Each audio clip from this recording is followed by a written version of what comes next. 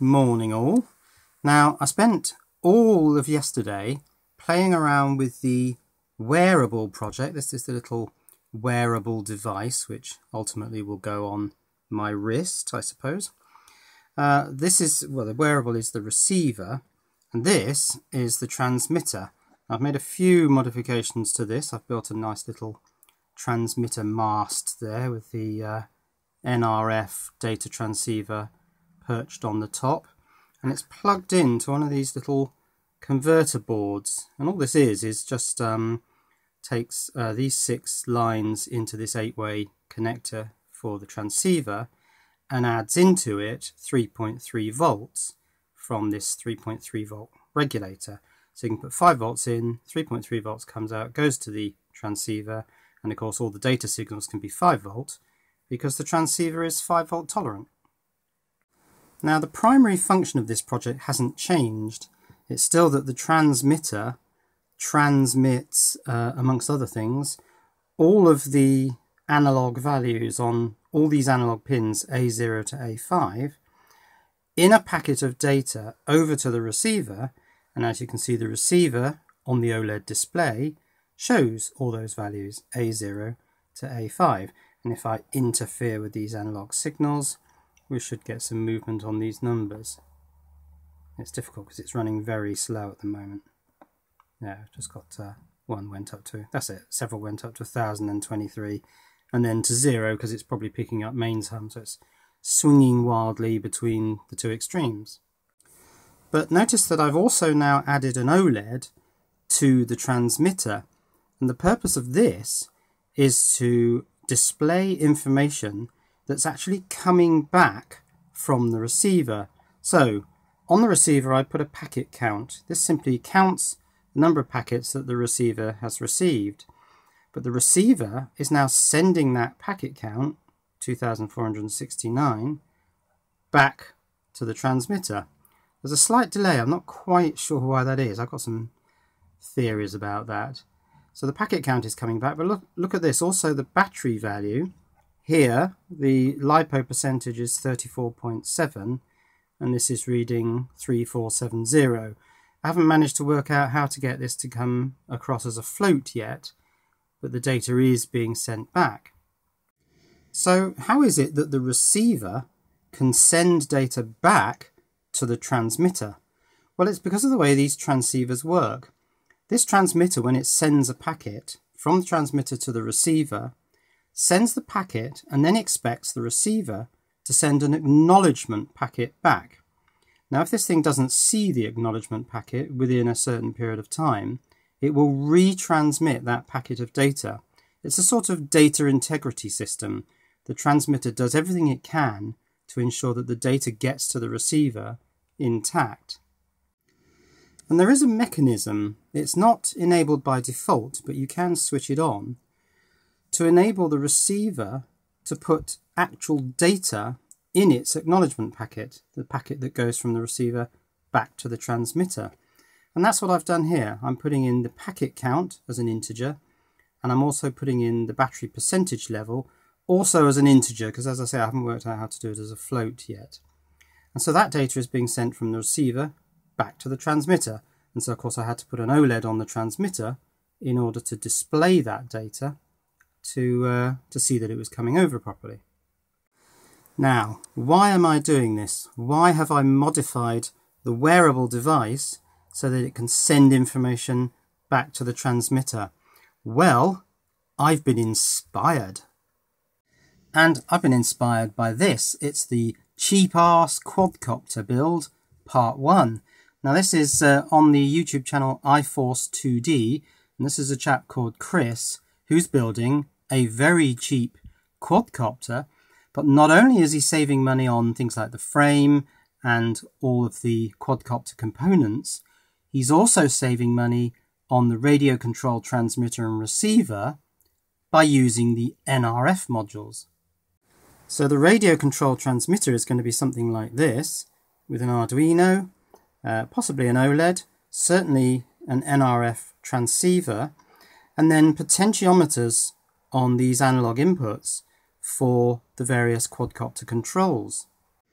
So just like my Hubsan controller has uh, throttle here and rudder or yaw on uh, that pot and then also uh, pitch and roll on these two potentiometers. Uh, so the transmitter will have potentiometers connected to these analog inputs and this will act as the radio control transmitter. And the radio control receiver will be something like this, an Arduino Pro Mini probably for size reasons, certainly the NRF transceiver, uh, possibly wouldn't need the OLED, and then the receiver's microcontroller would need to generate all the uh, pulse signals for the servos uh, to control uh, the uh, electronic speed controllers. Of course, quadcopter doesn't have any servos, but the, the four electronic speed controllers for the motors and any other functions that require a servo input.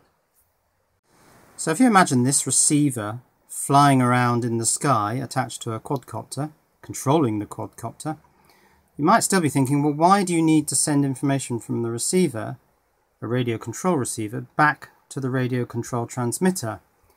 And this, of course, is telemetry. Um, the guy controlling the quadcopter, standing on the ground with the transmitter, needs to know certain important information, one of which, of course, is how well charged the battery is.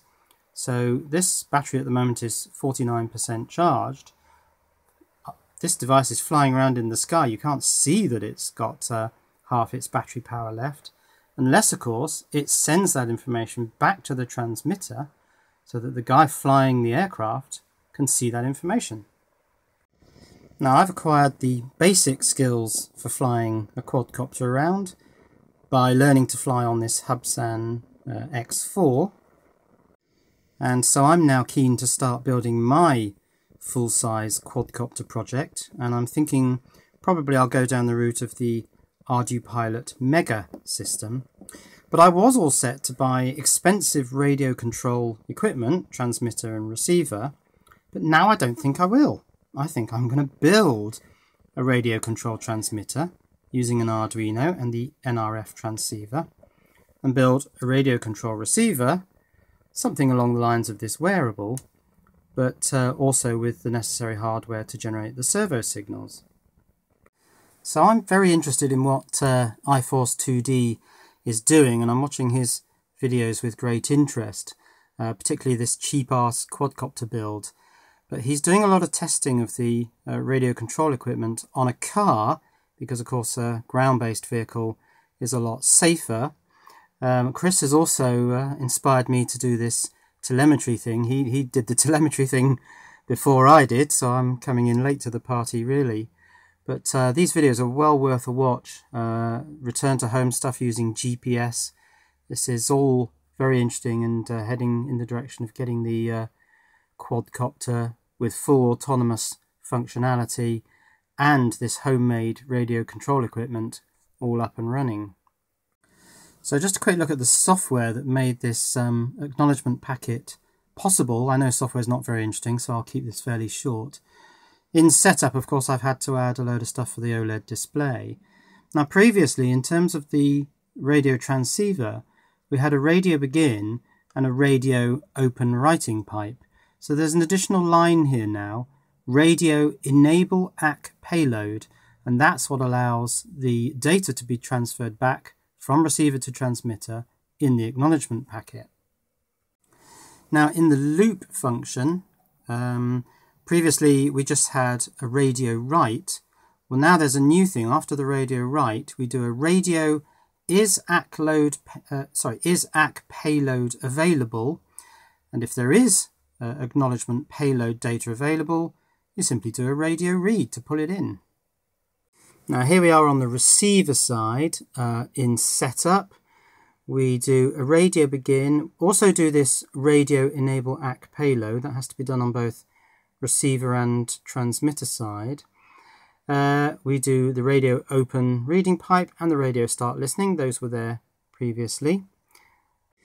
And then on the receiving side in the loop function, previously we had if radio available then uh, radio read that data. The only addition now is radio write ACK payload. So as soon as we've read the packet that's being sent from transmitter to receiver, we send the data in the packet that goes back the other way.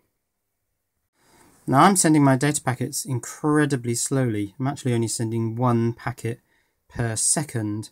And the main reason for that was because this display library, the Adafruit display library, is very, very slow. It takes a long time to update this display. And it was getting tied up in the uh, display routines and missing packets of data. So I think once the display routines are out, we can speed this up. And of course, for radio control, we'll need a packet rate of at least 50 packets a second, I would think.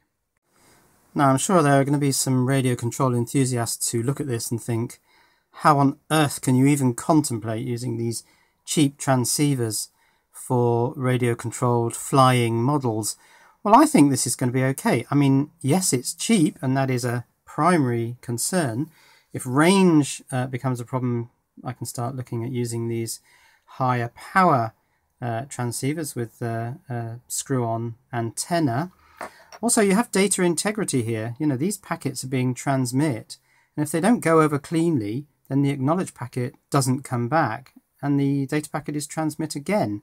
So as long as it can all be done quickly enough, the data integrity from transmitter to receiver is going to be excellent. Now, of course, also you've got this telemetry path back from the receiver to the transmitter. So I think there are compelling reasons for using these data transceivers as a radio control system. Now, I've just been looking at this transmitter and I think I've missed a trick here because the OLED connects to SCL and SDA, which is on these last four pins. So if I'd had a wider board instead of this um, six uh, hole wide board, I'd gone for one of this 10 hole wide board.